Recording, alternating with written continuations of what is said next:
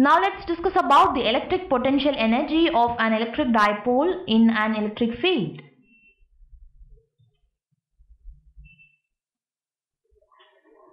So if you see here, you can see the electric dipole energy of a dipole which is indicated over here.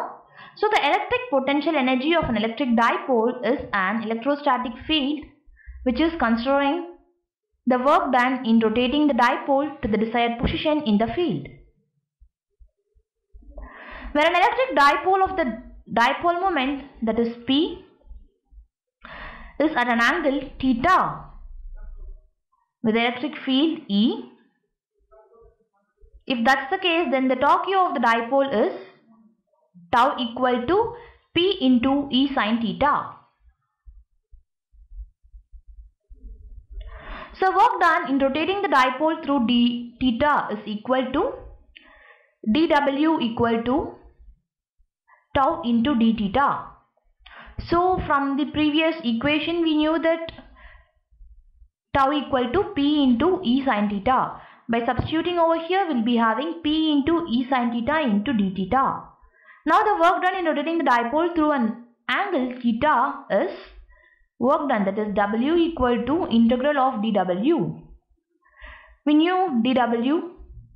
So substituting over here, taking the constant outside, PE integral of sine theta into d theta. On integration, it will be minus of PE cos theta. So this work done is the potential energy U of the dipole.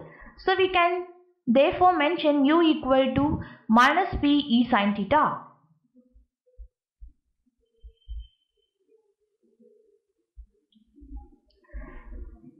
When the dipole is aligned parallel to the field, then theta is equal to 0.